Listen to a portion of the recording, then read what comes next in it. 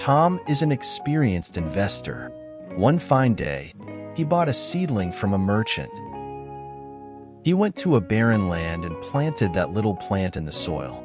We can simply say that Tom made an investment as little as this seedling. He used to water that plant daily in a disciplined way. We can call this a systematic investment plan. He committed to protect his little plant even in extreme bad times. He didn't give up his hope on the investment he made, and he waited with a lot of patience. Finally, his investment started giving fruits that he had been waiting for a long time. He is so happy and proud of his knowledge and commitment to hold. He ate some fruits and booked some profit by selling the remaining fruits.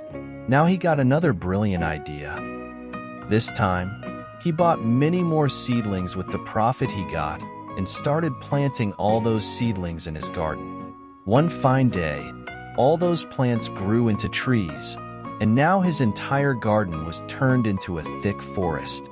In this way, Tom became rich by selling all those fruits in the market, and he continued his investments in a big way.